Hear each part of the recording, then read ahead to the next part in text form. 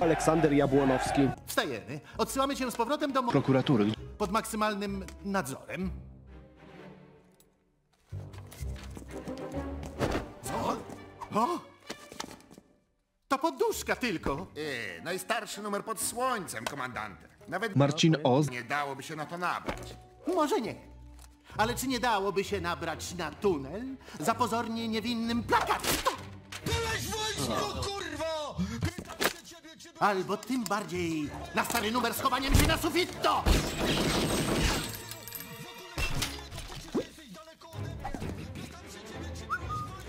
Hasi? Stary numer z podkopem pod pryczą. No zabierzcie to. Za mną! Ale ten podkop nigdzie nie prowadzi. Nic tu nie ma,